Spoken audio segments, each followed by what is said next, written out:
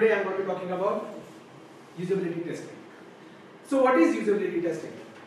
Any of you? Uh, what is the first thing that comes in your mind when you see this two words? Basic, basically sanity testing to see if something is usable or not. Yeah, Great.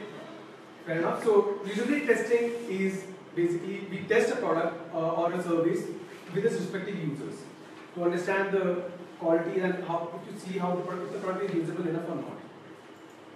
But wait, before usability testing, you have to see what usability actually means, right? So usability is a quality attribute which uh, de- describes how easy the product is to use. Yeah, and it, it can be uh, can be uh, depicted using five parameters, namely learnability. When a person when a person interacts with the user the product for the first time, how intuitive is the is for the person to learn. For the is how intuitive is the UI for the person to learn. Second is efficiency. Once the person learns the design, how easy, how efficient, how fast can the person uh, complete the task assigned. Memorability. Say if a person stays away from the system for a long time, when the person comes back, how easy for the easy for the person to relearn what he learned. Errors. What, what are the types of errors that is done by the users? How severe they are, they are, and what is the error rate across the system? Last but not the least, satisfaction. How satisfied, satisfied the user is with the design. How uh, basically looks at aspects like when will I come back to this uh, product after I use it for a long time, after I use it. So, after this, there are few usability heuristics defined by uh, Jakob Nielsen which uh, kind of are the principles of usability. The first one would be what's going on. Visibility of system status. The system should convey what the use, what is, so the system should convey uh, the actions or the task done by the users. For example, if you look at table lamp, when you switch it on, we will know that the table lamp is on or is it off. It basically means system should communicate to the user. Yeah. Next up is what are you talking about? So the there should be a match between the system and the real world. The, there should be a consistency in the language being used and the concept being applied for the product.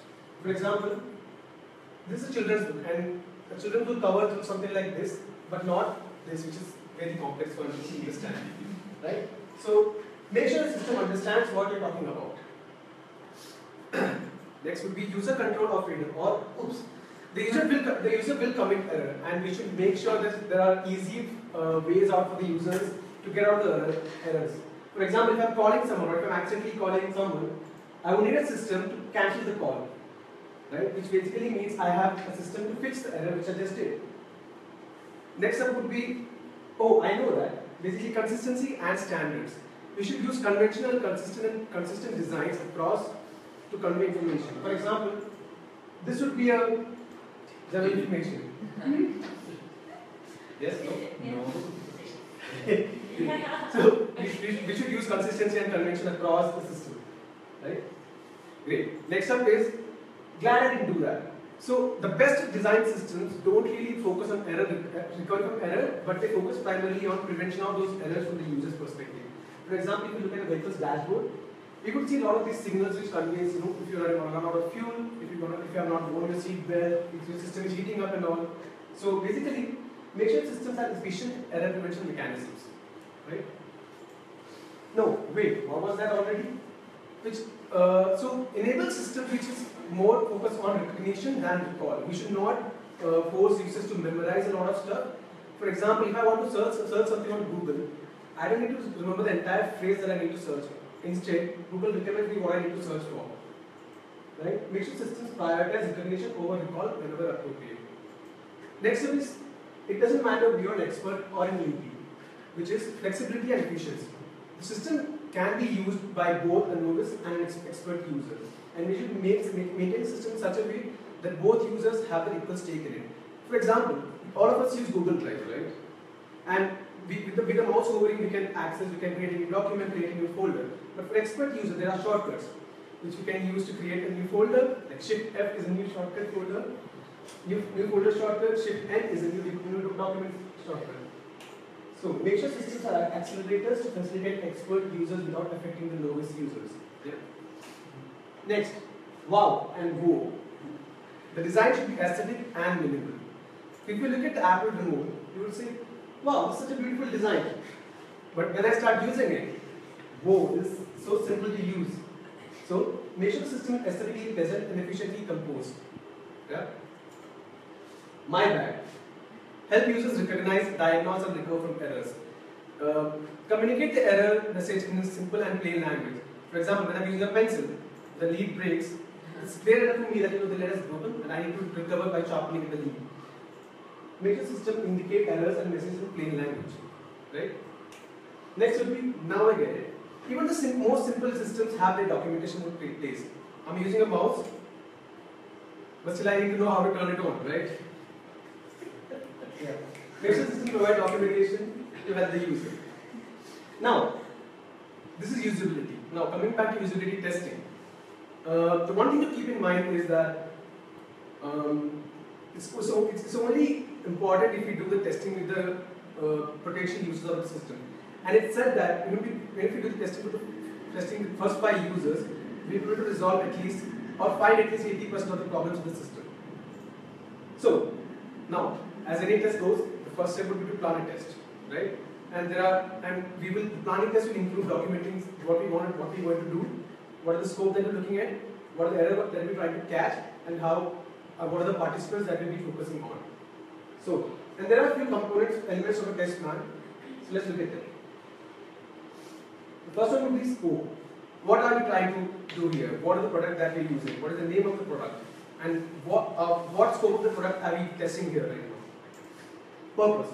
What is the purpose of the testing? And so like can users can be as broad as can users navigate to find this or can be as specific as will users easily find the search bar in the header. Third would be schedule and location. We need to find the right time and location to conduct the test. Fourth one would be sessions. What are the sessions about? You have to describe this session as to what all will this cover. Equipment. What are the equipment that we're going to use? If this is the test room, the equipment we're probably going to use is a recorder, a video recorder, and a projector screen. Participants. Who are the target participants that we're going to recruit, and how we're going to recruit and train them to attend the test. And scenarios. What are the conditions that we're going to navigate for the test? For example, if it's going to be a generally user tests are about a one-hour test per person, and it, can, it takes about 10 scenarios or 10 user stories. Metrics. It will have both subjective metrics, which is basically how the how was the task, uh, qualitative qualitative description of the uh, qualitative description of the task that we did, and by the way, quantitative also, which is going to be error rates, um, time time on the task, and successful completion rates. Roles. What are the roles that the participants are going to take? There will be observers, there will be know, people who are going to take notes of the test, etc. Okay. Moving on, we have the next step to identify test, test matrices, matrices. So, first one would be successful task completion. If I'm given if I'm given a task, how success how is the person able to complete the task or not? Critical errors. Are there errors? Are there any errors which are stopping the users from doing the task? Non-critical errors. Are there errors which are which are recovered by the users, which could have stopped the user, but the user himself recovered to use the task, to complete the task. Error rate. What is the number of users who finish the task without committing any error or without facing any error? Time on task. What is the time which is taken by the user to complete the task? Likes, dislikes, and recommendation. It will also include uh, things like satisfaction rating a 1 to 5 to 7 rating scale. What are the likes that the user have, what the user did not like, and what are the recommendations from a feature point of view. Okay? Now, the second step would be to run a, run a usability test. And, okay. So, for, for, for us to able to run a usability test, should, there are four moderating conditions which is prescribed by the usability testing uh, community. The first one being concurrent think aloud.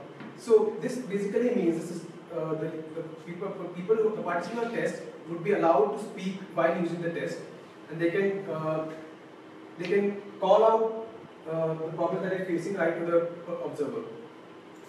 Second would be retrospective think aloud.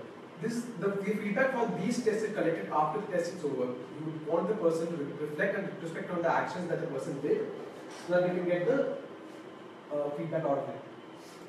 Concurrent probing, which basically means the, the, observer can ask, observer is free to ask questions to the participant. The participant is doing something really unique or something erroneous. Retrospective probing, again, the, the observer will be taking notes of the thing and will be asking the questions post the test is completely over. Make sense?